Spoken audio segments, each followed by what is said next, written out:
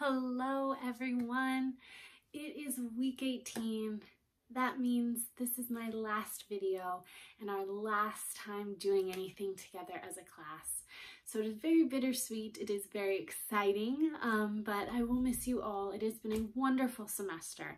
So let's talk about what we need to do this week. So first of all, we have our final essay due this week.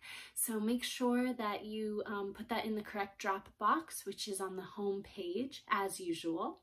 Um, and we'll have our final Dear Reader letter. So please do that. You'll see the instructions. I believe it's on the next couple slides, um, you'll see directions for the Dear Reader letter, as well as a Dropbox for that. So if you can just type that on um, like a Google Doc or a Word doc or Pages, and then upload it onto a Dropbox, that would be awesome.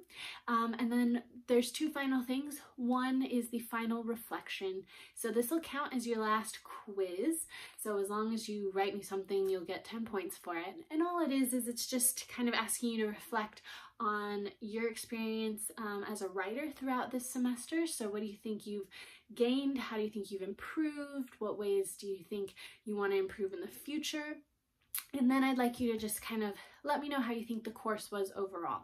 I'm always looking for new suggestions, way to make it better. Um, so any feedback that you have would be really, really awesome and I would really appreciate it. Um, and if there's anything else you want to let me know, that would be a great place to write that. So I appreciate um, all the honesty that you can give me. Please be kind because I'm very pregnant and I will cry. So, but I do want some honesty. So that would be awesome.